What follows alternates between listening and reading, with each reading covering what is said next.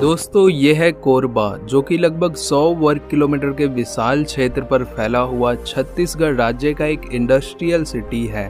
कोरबा को power capital of Chhattisgarh के नाम से भी जाना जाता है, क्योंकि यहाँ का कोयला भंडार व एनटीपीसी लिमिटेड छत्तीसगढ़ राज्य के बिजली उत्पादन में एक अहम भूमिका अदा करते हैं।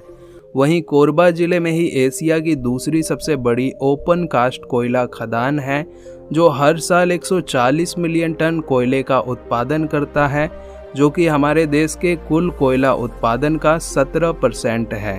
तथा आज के समय में अगर देखें तो कोरबा शहर वक्त के साथ बहुत ही तेज़ी से बदल रहा है जहाँ पर चौड़ी सड़कें, स्कूल, कॉलेज मल्टीप्लेक्स और बड़े बड़े रेजिडेंशियल टाउनशिप बसाए जा रहे हैं। लेकिन कोरबा ज़िले के बाहरी हिस्से में रहने वाले आदिवासी समुदाय आज भी अपने पारंपरिक संस्कृति को संभाले रखे हैं।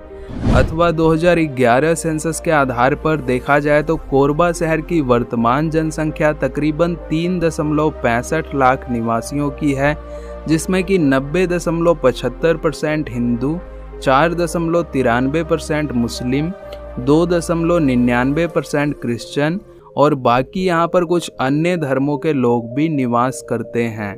वहीं कोरबा ज़िले की वर्तमान साक्षरता दर 83.65 परसेंट की है जहाँ पर मुख्यतः हिंदी और छत्तीसगढ़ी भाषा बोली जाती है। एंड अगर इतिहास के पन्ने उठाकर देखें तो पता चलता है कि कोरबा ज़िले का ये नाम यहाँ के कोरबा जनजाति से लिया गया था, जो मूल रूप से इस क्षेत्र में निवास करते थे और आज भी निवास करते हैं।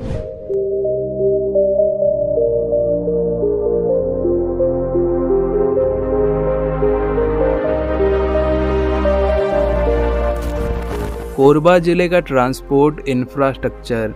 यूँ तो कोरबा शहर रेल और सड़क मार्ग के द्वारा छत्तीसगढ़ के बाकी शहरों से एक अच्छी कनेक्टिविटी रखता है, परंतु यहाँ का नज़दीकी हवाई अड्डा यहाँ से तकरीबन 220 किलोमीटर दूर रायपुर में स्थित है।